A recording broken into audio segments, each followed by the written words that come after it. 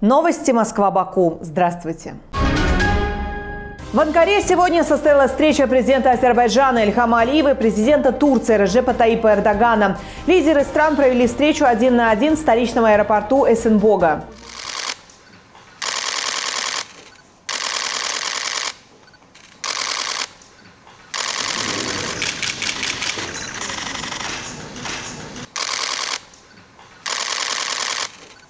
Алиев прибыл с рабочим визитом в Анкару по приглашению президента Турции. В аэропорту Сенбога, где развивались государственные флаги двух стран, в честь президента Азербайджана был выстроен почетный караул. В ходе встречи лидеры двух стран обсудили шаги, которые необходимо предпринять для дальнейшего углубления сотрудничества. Также состоится обмен мнениями по актуальным региональным и глобальным проблемам. После переговоров Эрдоган и Алиев провели совместный дружеский обед. Армения вновь отказалась платить начисленный взнос в бюджет ОДКБ, который составляет более 53 миллионов рублей. Таким образом, Ереван решил воздержаться от участия в финансировании ОДКБ в этом году. МИД России на это отметили, что Ереван уже не в первый раз заявляет о прекращении финансирования ОДКБ и замораживании своего участия. В связи с этим бюджет организации будет корректироваться, но финансовые обязательства Армении перед ОДКБ сохраняются. Цитата. «С учетом отказа армянского руководства внести начисленный взнос в бюджет организации будет скорректирован. А о перераспределении взносов между другими странами речи не идет. Задолженности по выплатам в бюджет организации, в том числе и со стороны Армении, случались и ранее. В предыдущие разы проблемы финансирования решались за счет сформированных ранее резервов, а должники в дальнейшем погашали свои задолженности, заявили в МИД России. Об отказе Еревана участвовать в финансировании работы УДКБ в 2000 2024 году в середине мая сообщили в армянском МИДе. А ранее, в феврале, премьер-министр Армении Никол Пашинян заявил о заморозке участия страны в ОДКБ. После этого Ереван уведомил Москву о решении прекратить работу российских пограничников в ереванском аэропорту Звартноц.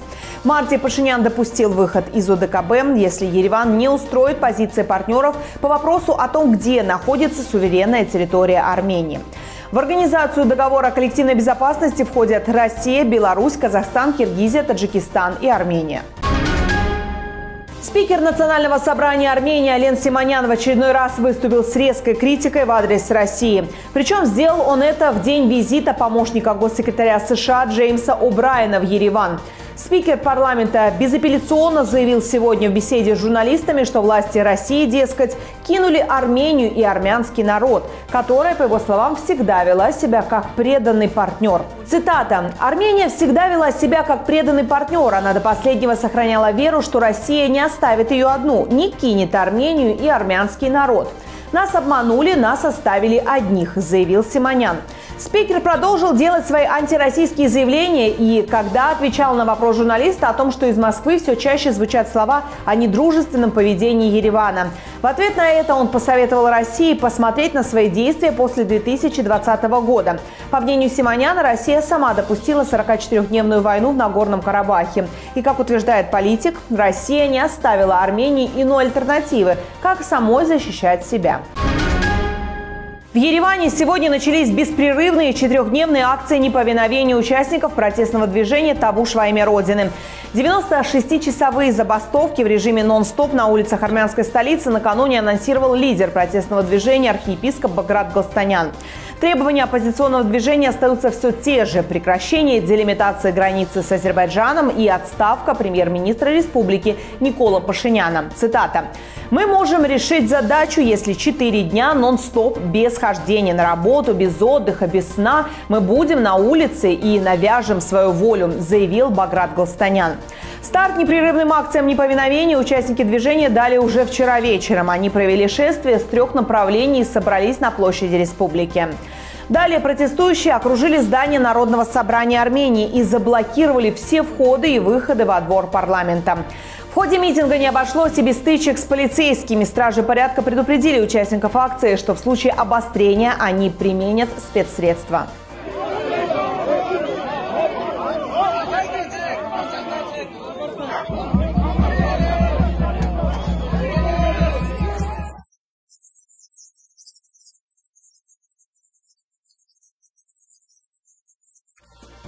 Разговор на повышенных тонах состоялся во время митинга между архиепископом Галстаняном и начальником полиции Армении Арамом Аванесяном. После вмешательства представителей с обеих сторон удалось снизить накал.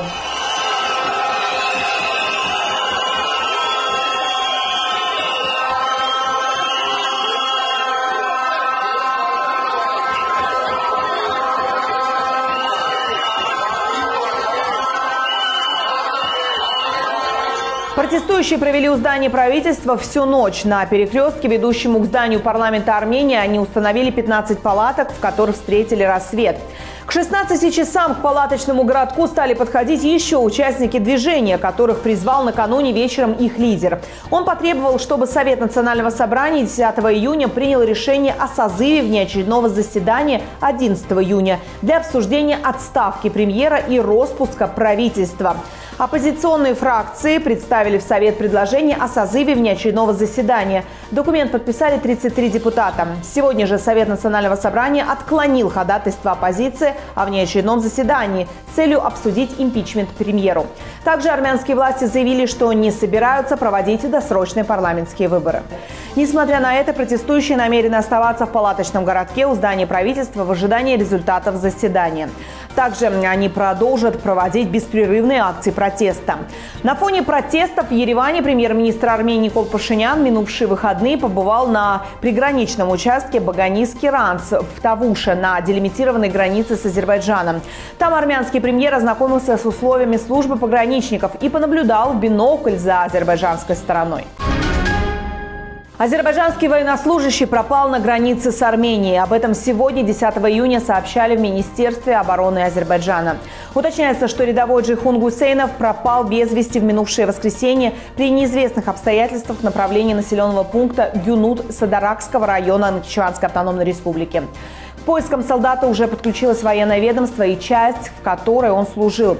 Тем временем ряд армянских СМИ опубликовали информацию о том, что потерявшегося солдата задержала армянская сторона. По их версии, азербайджанский военный оказался на территории Армении, перейдя границу из Нахчевани. Официально Минобороны Армении эту информацию пока не подтвердили, а в службе нацбезопасности сообщили, что у них нет данных о возможном пересечении границы Армении азербайджанским военнослужащим. 8 июня уже второй турецкий астронавт Тува Джихангир от СВР совершил полет в космос. Суборбитальный космический корабль, в котором находился второй турецкий астронавт, вылетел с космодрома Spaceport, расположенного в американском штате Нью-Мексико. В миссии также участвовали два астронавта из США и один из Италии. Продолжительность полета составила 1 час 10 минут. Специальный самолет-носитель поднял космоплан на высоту 45 тысяч футов.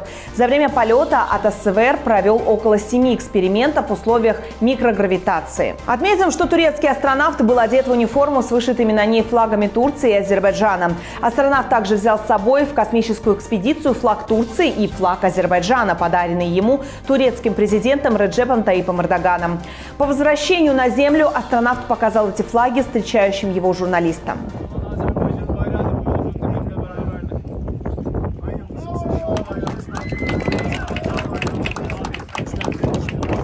Общаясь с журналистами от СВР отметил, что полететь в космос с обоими флагами на рукаве и на груди имеет для него особое значение. Цитата.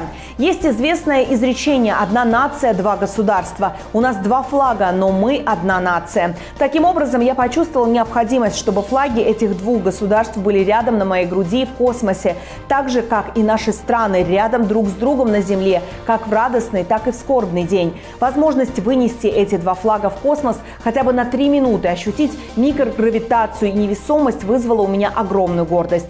Очень надеюсь, что Турция и Азербайджан совершат прорывы в области космических технологий, заявил от СВР.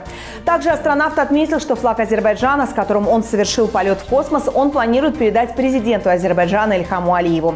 Отметим, что от СВР азербайджанские корни по маме. И, как обещал астронавт, он обязательно приедет в Баку, чтобы поделиться впечатлениями о космическом полете с представителями научного сообщества и молодежью Азербайджана.